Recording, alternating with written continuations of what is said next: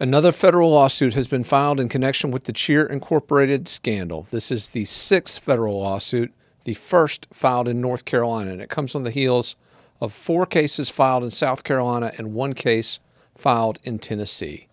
Now, if you followed this scandal, the allegations, the defendants, a lot of this is very familiar, but there are some new defendants in the North Carolina lawsuit, specifically Cheer Extreme, a gym based in Raleigh, which, according to the lawsuit, is one of the most prominent gyms di- directing cash, directing clients, directing revenue to Varsity, which is, again, the top corporate defendant, uh, dominates the cheer industry, which, again, has been named as a defendant in all of these federal lawsuits.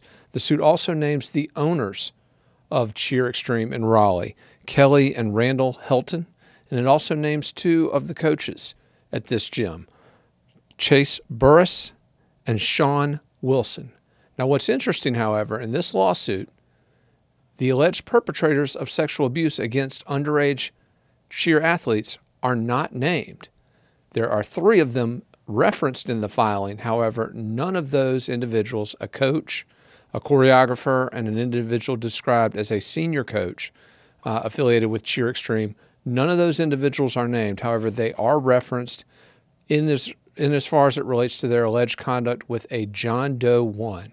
Now, according to the lawsuit, John Doe 1 was the recipient of inappropriate photos from these coaches and, and from the choreographer, uh, was forced to perform oral sex on one of the coaches.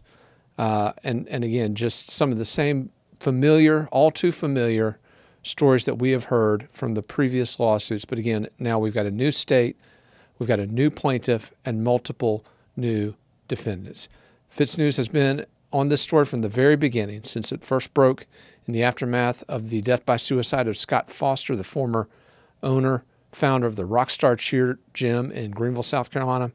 This news outlet broke that story, and ever since then, we have been covering every step of this ongoing saga, the legal developments related to it, and the new allegations against the various gyms and individuals associated with those gyms. To keep up with the very latest on the Cheer Incorporated saga, keep it tuned to FITSNews. But also, if you haven't started yet, start listening to Cheer Incorporated, the podcast on Apple, on Spotify, which has been, again, covering this story from the very beginning.